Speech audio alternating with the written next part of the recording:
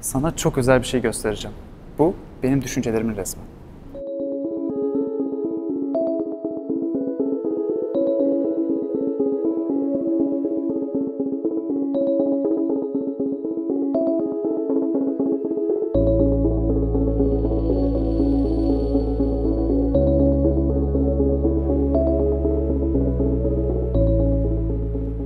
Boş Stüdyo'nun geliştirdiği bu eser makine ve insanı birleştirerek bizlere bilişsel bir boyama sunuyor.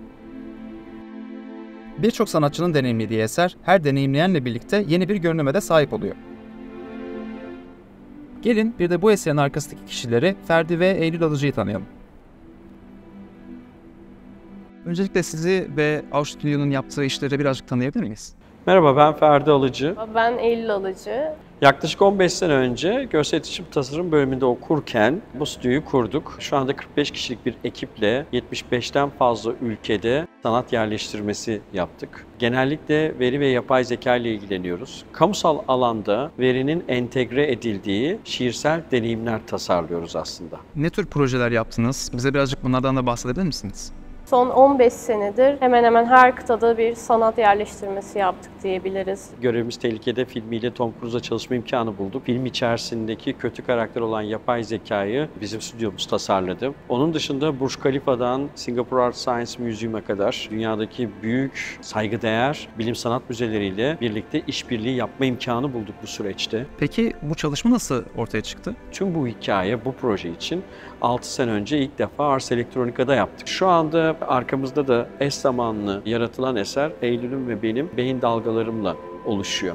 Daha çok bunun makineyle insan zekasının bir işbirliğinden doğan bir eser gibi tasarlamak istedik. Korku, mutluluk, sevinç ya da üzüntü gibi duyguları da burada yansımasını görüyor muyuz? Bu yapay zeka algoritması bu 5 duyuyu alıp bunu 100 boyutlu bir veriye çeviriyor. Bu da aslında makine zekasının insan zekasını görüp yorumladığı hali. Bu eserinizi deneyimleyen yaratıcı zekalarla alakalı tecrübelerinizden de biraz bahsedebilir misiniz bize? İnanılmaz. Aslında biz 6 sene önce bu projeyi yarattık ilk. Ama sanırım en sonuncusu en ilginci oldu.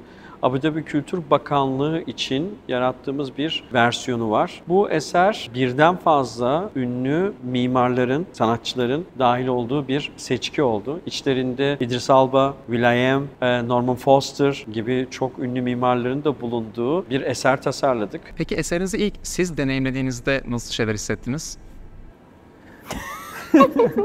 Burada çok ilginç bir şey söyleyelim. Şimdi eser bazılarımızda taktığımızda herhangi bir beyin dalgası alamadık.